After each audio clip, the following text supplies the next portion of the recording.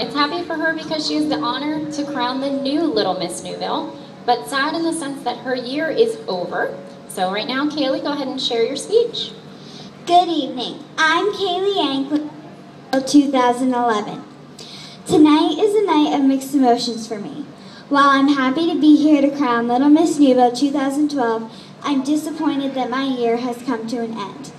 I would like to thank the Newville Lions Club and pageant director Heather for an outstanding year.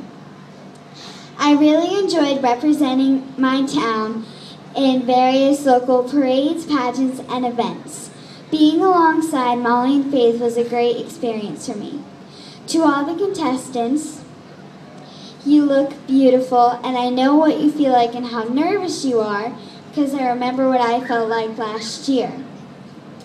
Just remember to relax, be yourself, and above all, keep smiling. I also would like to thank my family and friends in the audience who are here to support me tonight. Thank you. All right.